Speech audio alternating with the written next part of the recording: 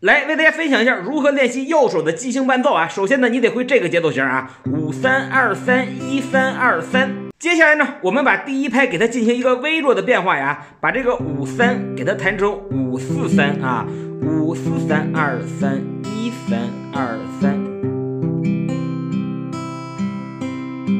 然后呢，我们给第二拍进行一个微弱的变化呀，五三二三二一三二三三二三二一三二三。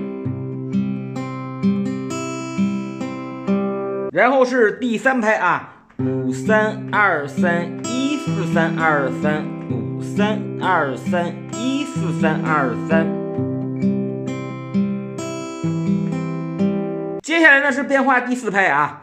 五三二三一三一二三四五三二三一三一二三四。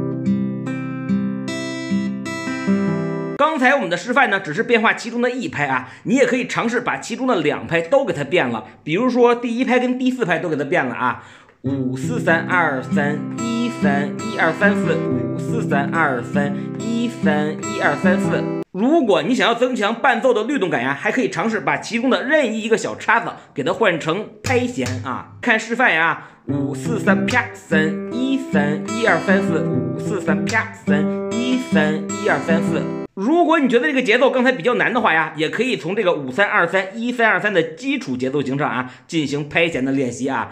五三二三啪三二三五三二三啪三二三。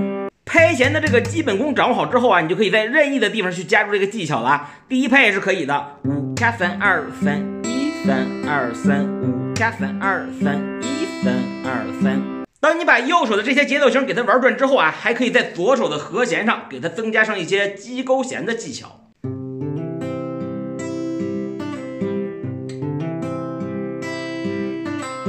如果不考虑左手的和弦加花的话，其实刚才的节奏特别的简单啊，就是五四三二三一三一二三五四三二三一三一二三。总之呢，这节课的目的啊，就是为了帮大家打开学习节奏的思路啊。OK，今天的视频内容呢就分享到这里啊。如果你也在学习吉的，不要忘了关注啊，视频每天持续更新，跟着我学习的其实很简单。咱们明天见。